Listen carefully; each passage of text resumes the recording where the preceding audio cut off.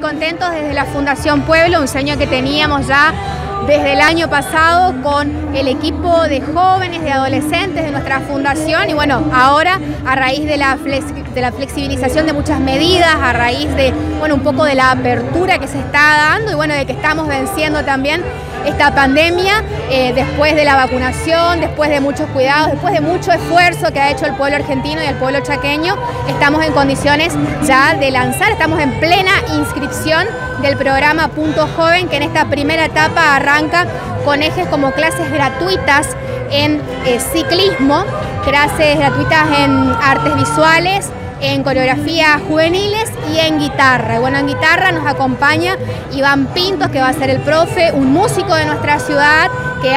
se ha desempeñado en distintas bandas, en los ritmos tropicales, en el folclore. También en artes visuales nos acompaña Camila Ramoa, estudiante de los últimos años del profesorado de Bellas Artes del ISPEABA, también de nuestra ciudad de Barranqueras. En la parte de coreografías juveniles eh, va a estar Sole Rolón, que también es instructora de zumba, de ritmos latinos, bueno, eh, con muchísima trayectoria en todo el ámbito del baile y de la salud.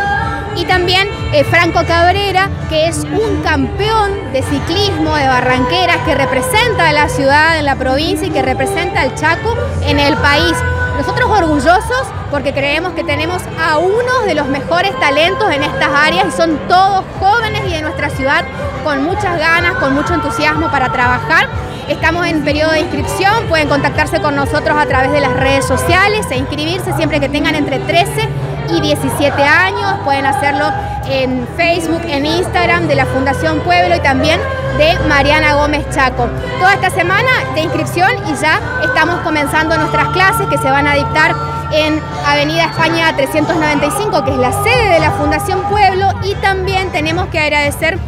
a la Secretaría General de Gobernación de la provincia del Chaco, a la escribana Noelia Canteros, que ya nos confirmó, tenemos ya seguido el espacio de la Plaza de la Integración en Avenida España y Avenida 9 de Julio para que utilicemos allí con todos los cuidados, con todo el protocolo, las clases de coreografías juveniles que va a dar Sole. Y bueno, un espacio al aire libre que sea de encuentro de los adolescentes y de la familia.